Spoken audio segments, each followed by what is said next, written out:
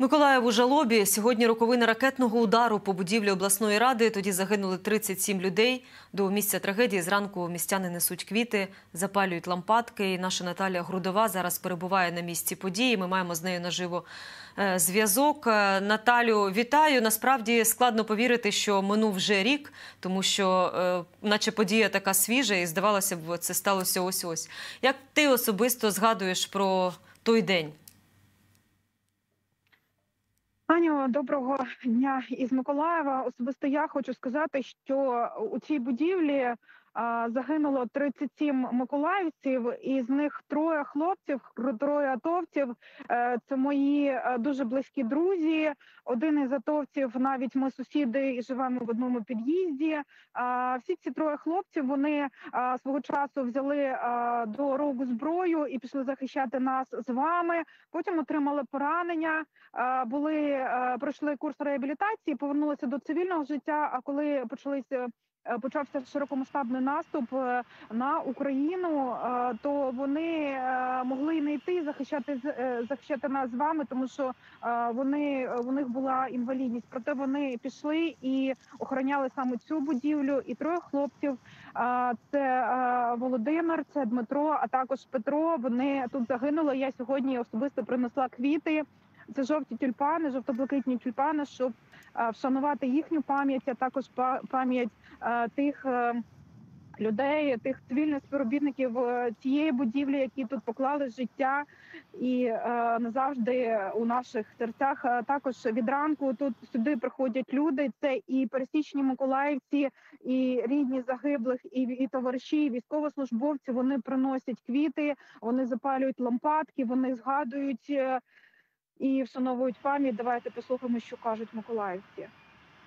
Сумний день для всього Миколаєва. Сумний він в першу чергу для тих, хто втратив своїх рідних, близьких, тих, хто загинув в той трагічний день 29 березня 22 року. І це трагічний день для всієї України, Російська імперія розпочала війну проти України. Вона її вела 300 років. Ну і е, сьогодні ми бачимо, що тривають бої на фронтах, але Україна обов'язково переможе. І залогом це стануть ті смерті, невинні смерті людей, які працювали в адміністрації. Вони прийшли на роботу, щоб віддати дань Україні, але то був їх останній день. На жаль, так могло статися, що той день міг стати останнім і для мене, бо саме 29 березня я мав забирати документи вранці, але сталося по-іншому, доля розпорядилася. Тому я думаю, хотів би висловити щире співчуття. Також хочу сказати, що рідні та друзі цих загиблих оборонців вони розгорнули ось такий плакат. На ньому написано навіки в обороні місто. На них зображені дев'ять фотографій цих хлопців, оборонців, які загинули у цій будівлі. Також хочу сказати, що сьогодні день жалоби в місті та області і на всіх адміністративних будівлях приспустили прапори офіційних заходів е, за участі е, влади, принаймні нас журналістів тоді не запрошували. Знаю, що отам е, біля парапету, біля самого входу, там лежать квіти, і вже на офіційних сторінках влади ми побачили фотозвіти. Вони зранку, коли саме був цей удар рашистської ракети, близько пів на дев'яту ранку. Вони прийшли, вшанували пам'ять, але то були неофіційні заходи. Всі інші люди, містяни, приходять сюди і вшановують пам'ять. От ось тут біля. Тому що там е, біля самої будівлі небезпечно знаходитись. А люди продовжують нести квіти сюди. Дякую, Наталю, за інформацію. Співчуття, звісно, родинам загиблих е, і вам також, якщо ви втратили там своїх знайомих. Е, дякую. Наталя Грудова була з нами на зв'язку, і ми побачили і почули, що Миколаїв сьогодні в жалобі, і сьогодні роковини того страшного ракетного удару по будівлі обласної ради. Далі йдемо. Вибухи пролунали біля підстанції локомотивного депо у тимчасово окупованому Мелітополі Запорізької області. За даними мера Івана Федорова, світло зникло у північних і західних районах міста, а також у кількох навколишніх селах.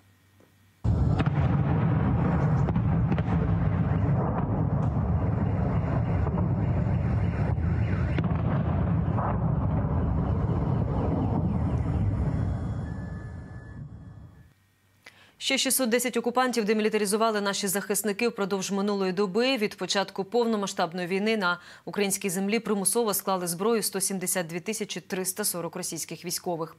Сім їхніх танків та шість артилерійських систем стали купою обсмаленого металу. Не стріляє від учора одна реактивна система залпового вогню ворога і здійснив примусове приземлення ще один літак рашистів. За даними повітряного командування, наші зенітники знищили російський бомбардувальник Су-24М під Бахмутом, а також підбили чотири дрони загарбницького війська. Поменшав і військовий автопарк росіян, мінус 5 автомобілів та одиниця спецтехніки. Це все за минулу добу. Білогорівка, Бахмут, Авдіївка, Мар'їнка та околиці цих міст залишаються найгарячішими точками фронту. Про це йдеться в ранковому зведенні Генерального штабу. Російські військові продовжують вести наступ на чотирьох напрямках. Водночас вони не припиняють тероризувати мирне українське населення регулярними обстрілами. Лише минулої доби рашисти завдали 18 авіаційних та 3 ракетних удари, зокрема по цивільній інфраструктурі. 28 березня внаслідок ракетного удару по інфраструктурі міста Богодухів Харківської області постраждали цивільні люди, пошкоджені приватні будинки. Противник зосереджує основні зусилля на введенні наступальних дій на Лиманському, Бахмутському, Авдіївському та Мар'їнському напрямках. В епіцентрі бойових дій залишається Білогорівка, Бахмут, Авдіївка, Мар'їнка та їх околиці. Завдяки професійним і злагодженим діям протягом минулої доби підрозділами Сил оборони України було відбито 50 57 атак противника на зазначених напрямках. Авіація Сил оборони України за минулу добу завдала 5 ударів по районах зосередження особового складу та військової техніки окупантів. Підрозділи ракетних військ і артилерії уразили пункт управління, 6 районів зосередження живої сили, озброєння та військової техніки противника, зенітно-ракетний комплекс, а також склад боєприпасів. П'ятьох людей поранили росіяни минулої доби на Донеччині. Про це повідомив голова ОВА Павло Кириленко. Були поодинокі обстріли Авдіївки та Мар'їнської громади. Там вибиті вікна і двері. Крім того, росіяни обстріляли Вугледар та прилеглі села. Одна домівка пошкоджена у Костянтинівці. Під вогнем були Сіверська та Солидарська громади, а також околиці Турецької. Оселю місцевих зачепило і вовчанці. Російського агента, який збирав дані про позиції сил оборони під Авдіївкою, викрили та затримали працівники СБУ. За даними слідчих, зрадником виявився житель прифронтового містечка Донеччини. Він дружив із кадровим співробітником російської спецслужби ще до початку повномасштабного вторгнення. А після 24 лютого його завербував приятель, який наказав збирати дані про склади з боєприпасами і бази військової техніки сил оборони саме на Авдіївському напрямку. Всю інформацію чоловік планував передати ворогу. Втім, співробітники СБУ спрацювали на випередження. Зраднику оголосили підозру в держзраді та взяли під варту. Одна людина поранена через обстріли Харківщини минулої доби. Травмований житель Богодухова. Це місто окупанти обстріляли ракетами С-300 напередодні в день. Під удар ворога потрапили 13 житлових будинків та споруди дитячого садка. Також у вівторок рашисти вгатили з мінометів, артилерії та танків по дворічній. Там пошкоджені житлові будинки та господарчі споруди.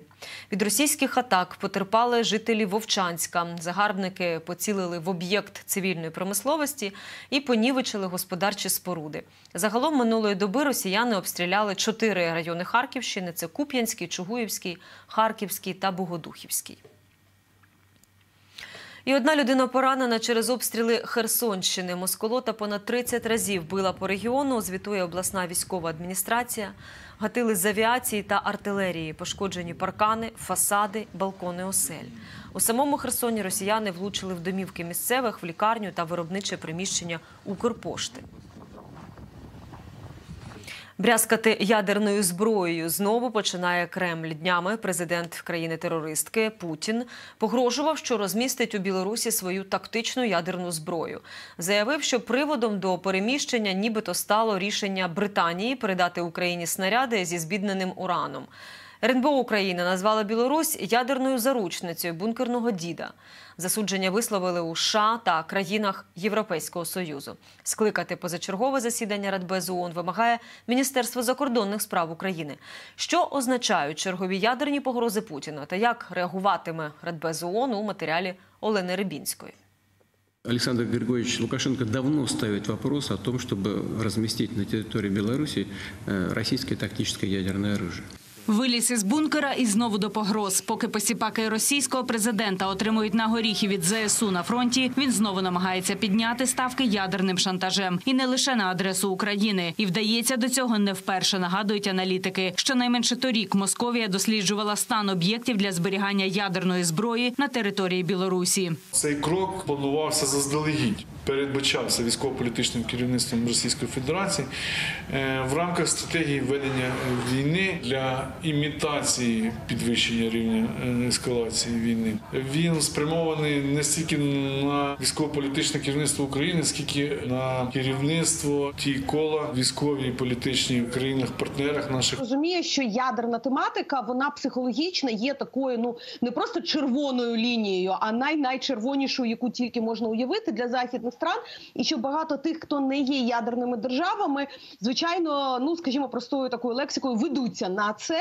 І навіть ядерні держави продемонстрували, що ядерна загроза з ними вважається однією такою найтоп Остання ядерна зброя, розміщена ще за часів радянського союзу, була вивезена з Білорусі до Росії 1996-го. Бо ж країна-терористка спільно з Китаєм, Великою Британією, США та Францією, згідно з договором про нерозповсюдження ядерної зброї, були визнані такими, що мають її. Однак переміщення до Білорусі може поставити крапку на суверенітеті цієї країни. Певні дипломати. розміщення ядерної зброї, він абсолютно чітко ставить Білорусь у позицію вже так би мовити точки неповернення. Вони стають не просто там союзником Путіна у цій війні проти України. Вони просто втрачають свою правосуб'єктність. Цьому, власне кажучи, і є найбільша загроза для Білорусі. Кремль узяв Білорусь в ядерні заручники. Так, секретар РНБО Олексій Данілов відреагував на заяву бункерного діда. А от скликати Радбез ООН закликають українські дипломати. В МЗС кажуть, Кремль укотре підтверджує свою нездатність бути відповідальним розпорядником ядерної зброї. Україна очікує на ефективні дії щодо протидії ядерному шантажу Кремля з боку Великої Британії, Китаю, США та Франції, зокрема як постійних членів Ради безпеки ООН, які несуть особливу відповідальність за недопущення погроз агресії з використанням ядерної зброї. Вимагаємо негайно скликати з цією метою позачергове засідання Ради безпеки ООН. Міжнародне право для Путіна, наче ганчірка, об яку він укотре витирає ноги. Так змальовує черговий ядерний шантаж дипломат Володимир Огриско. Каже, на жаль, засідання Радбезу ООН не стане панацеєю, бо ж одним із постійних її членів і досі є Росія. На превеликий жаль, вона нічого не може зробити. Вона може лише стати в черговий раз майданчиком для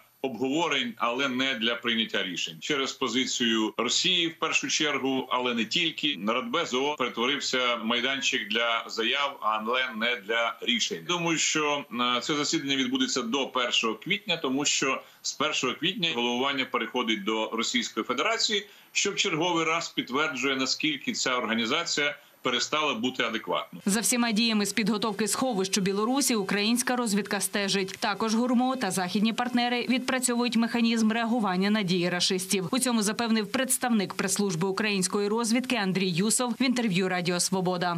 Російське суспільство, яким би воно зазомбованим не було. Е, Починає ставити все більше запитань по е, провальному ходу е, війни в Україні, і ось для того, щоб показати, можемо і спроможні публічні події, і здебільшого лише слова. Ставимось до цього спокійно, готуємось до можливих провокацій, але на політику, безпекову політику України і цивілізованого світу безумовно це не вплине. Також у розвідці запевнили США та Євросоюз чітко й однозначно реагують на дії президента країни-терористки і на ядерний шантаж вестися не планують. Олена Рибінська, п'ятий канал. Джо Байден занепокоєний планами Росії розмістити тактичну ядерну зброю в Білорусі. У коментарі журналіста американський лідер зазначив, такі розмови небезпечні. Колишній віцепрезидент Майк Пенс натомість заявив, щоразу, коли Путіна заганяють у кут, він згадує про ядерну зброю. Не можна дозволити диктатору відволікати увагу світу, а потрібно навпаки продовжувати підтримувати Україну, сказав Пенс в інтерв'ю Newsmax. Яка ваша реакція на розміщення Росією тактичної ядерної зброї в Білорусі? Вони ще нічого не зробили, лише якщо нічого не сталося, поки я був у вертольоті. Ви занепокоєні цим? Звісно, занепокоєний. Я говорив з вами про це впродовж року. Це небезпечна розмова, і вона викликає стурбованість.